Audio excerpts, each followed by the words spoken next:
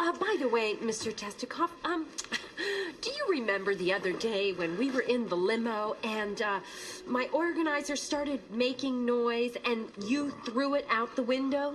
How can I forget? Well, um, would you believe that it actually hit somebody in the head? Right in the head. Boing. what is that noise? Uh, that's nothing. Um, and anyway, um. What's going on, huh? That noise! No, no, that's my purse. No, get, get off my purse! It's recorder! No, that's radio! You are spying on me!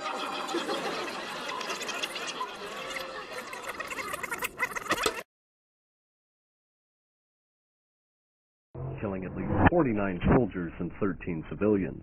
Damage to the base is said to be heavy, and the Israeli jets are reported to have made it back to their headquarters safely. A 49-year-old last night, opening fire with a 12-gauge shotgun in a crowded downtown restaurant. 14 people